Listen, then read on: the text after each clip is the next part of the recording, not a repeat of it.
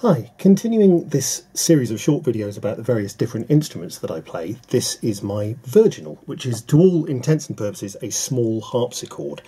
Like the piano, it's a keyboard instrument, but it makes it sound in quite a different way from the piano. Inside a piano, you have hammers that strike the strings when you press a key. Um, with a virginal, and indeed with all other members of the harpsichord family, you have little plectrons, little quills inside that um, pluck the strings.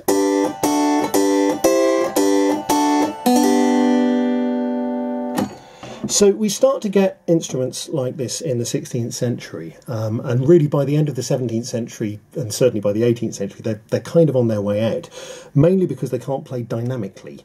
Um, they they have two volumes on and off, and of course when the piano comes in, it can play loudly, it can play quietly. It's a much more dynamic instrument, so that starts to take over. Um, but I really like my virginal, so I'm going to play you a short piece of music from the 16th century on it. Um, if you'd like to hear more music like this, or possibly hear the virginal played a bit more, then please do check out our website, which has various recordings of uh, of us playing instruments like this. So, the virginal.